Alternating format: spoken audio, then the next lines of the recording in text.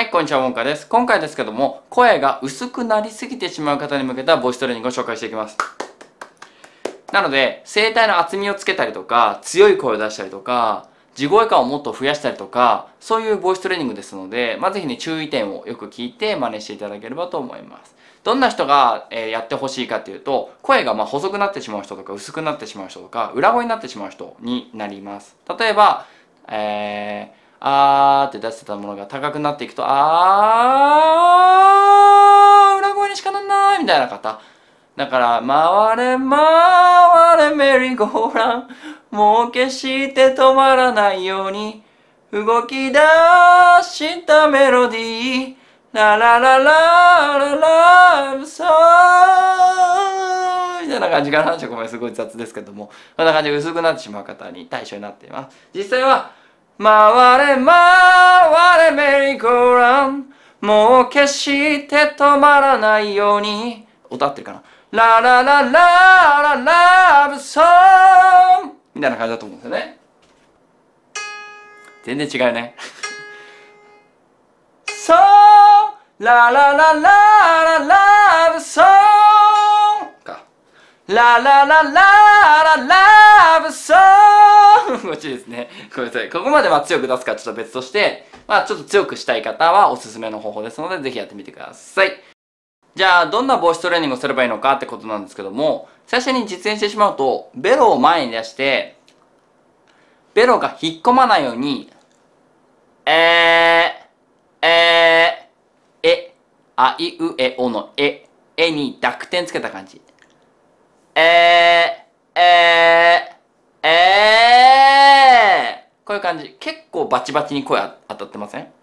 バチバチに声当たってるってどういうことかっていうと、えー、えー、声が薄いじゃないですか。これをがっつり力入れて、えー、え、え、えー、こんな感じで出してほしい。って感じです。で、あの、いろいろ細かい説明をしていくんですけども、その前になぜね、この練習をした方がいいかってことなんですけども、高い声に行けば行くほど声は細くなります。薄くなります。これはもう自然の現象だと思ってください。まあ、当たり前のことだと思ってください。細くなる、高い声になればなるほど。なので、あーって出してても、あーってもう、あーまでいっちゃったらもう細いんですよ。薄いんですよ。ある程度厚みはあるし、閉鎖はしてるかもしれないですけど、あーよりは、あーの方が薄いですよね。薄いって表現で合ってます？細いですよね。裏声ですよね。そう。これをあーって厚みを足すことによってずっとキープしておくことによって厚みキープしながら細くする。あーってやると結構まあ強い声のまま上に上がれるんですよ。でもそこの強い厚みをキープするっていう筋肉がないのであーにしかなんないみたいな。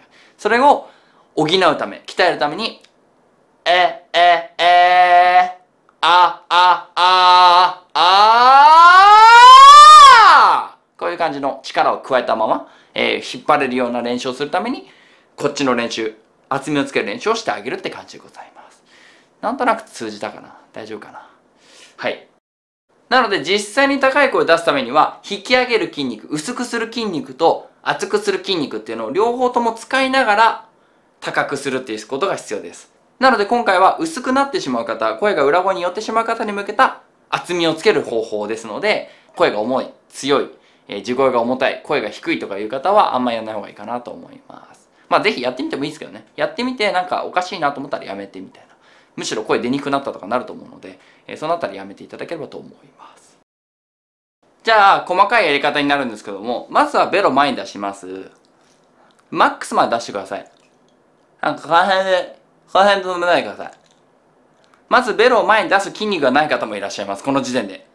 え、前に出すのつらーみたいな。ずっと出してるのつらーっていう方います。その方はもうベロを前に出しとくだけのトレーニングでも全然 OK です。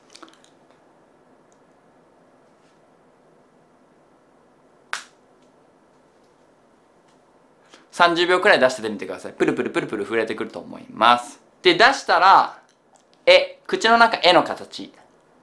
なので、口角ちょっと上がったり、頬骨ちょっと浮いたりとかすると思います。で、下顎はちょっと下がります。逆三角形を作るようなイメージですね。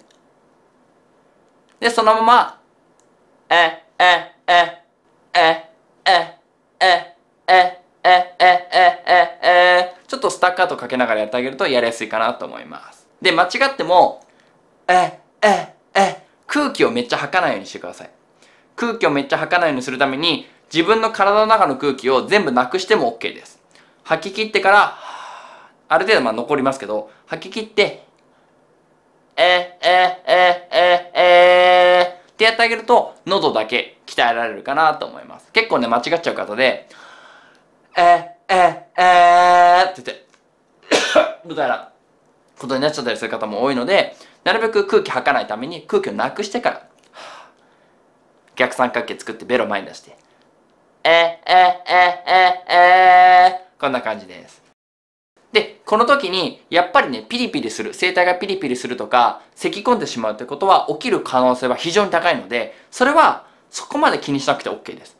全然そのピリピリしてるとか、咳き込んでしまうから喉痛めるんじゃないかなとかじゃなくて、今までぶつかってなかったところがぶつかってるってだけです。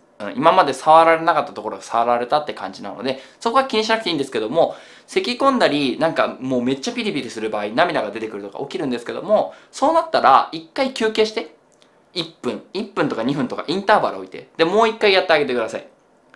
あの、え、え、えー、ってなったら、あー、ちょっと一回やめよう、みたいな。うん、うん、あ、あ、はあ、はあ、裏声とかちょ、こうね、声が出るかちゃんとチェックして、はあ、あ、あ、あ、大丈夫そうと思ったらもう一回下前に出して、え、え、え、え、え、え、え、え、え、え、みたいな感じでやってあげてください。で、あとはこの練習してた時に、どうしてもこう、ロングトーンにすると、え、え、え、ってベロがね、こう、後ろ側に引っ込んでくるんですけども、もう耐えてください、ひたすら。え、え、え、こんな感じで耐えてください。もし、耐えれない方は、タオルで掴んでやっていいです。え、え、え、もう引っ張って、もう物理的に前に引っ張りながら声出して OK です。全然それでも効果あるので、ぜひやってみてください。で、ここでちょっと説明が多かったので、もう一回ここで練習していこうかなと思うんですけども、だいたい練習3種類でいいかなと思います。スタッカート。え、え、え、え、え、え、で、ロングトーン。え、え、え、え、え、え、こんな感じ。もしくは登る。え、え、え、え、え、え、え、え、え、こんな感じで3種類やってあげるといいかなと思います。音域は、この辺とか。え、え、え、こんな感じ。で、できれば、本当にもう低めで全然 OK です。マックスが E4F4 なので、全然、え、え、えー、え、え、えー、とか、え、え、えー、とか、全然 OK でございます。はい。そんな感じです。で、これやってると、えっ、ー、と、声が枯れてきたりとか、ガサガサしてきたりすると思うんですけども、そうなったら必ず休憩してあげてください。あー、なんか全然、あれ？閉鎖しなくなってきちゃったみたいになると思うんですけども。これは、あの、例えば階段をめっちゃダッシュして登って、めっちゃダッシュして登ったら足上がらなくなりません？なんか、あ、もう疲れたみたいな。足上がんないみたいな。もう足パンパンみたいな。何本も何本も階段ダッシュしたらなるじゃないですか。それと一緒。何回も何回もこう閉鎖めっちゃ強くやってるから、え、え、えー、みたいな、ガッカッカッってやってるから、この閉鎖する筋肉たちが、もうそんなに閉鎖したらもう、あんまし閉鎖したくないよみたいな。だから、あ、あ、あみたいな感じになっちゃってるってイメージでございます。で、結構鍛えられると、今結構動画でね、やってると思うんですけども、あー、全然普通、なんともまだないです。もうちょっとやんないと、負荷がかかってこないかなみたいな風になってくるので、えー、ぜひ育てていくといいかなと思います。少しずつね、少しずつ。はい。で、今回はこんな感じで以上になります。で、歌う時の注意点なんですけども、あんましこの、なんか意識しないでください。えーえー、えー、えー、みたいな感じですごく強く閉鎖しようとすると、地声がめちゃくちゃ重たくなってしまうので、それは普段通り歌ってあげるといいかなと思います。まあ、もしくはこの意識を入れることによって歌いやすくなるんであれば OK だし、この意識を、例えば、練習の時は100%だけど歌う時は50%入れようとか70%入れようとか30%入れて歌ってみようとかそういう工夫をしたりとかするのはありかなと思います是非ねあのこの練習を活かして工夫してなんかうまいことを自分のボイストレーニングに自分の声に、えー、活用していただければと思います、えー、今回は以上になります。ご視聴ありがとうございました。参考になったらグッドボタン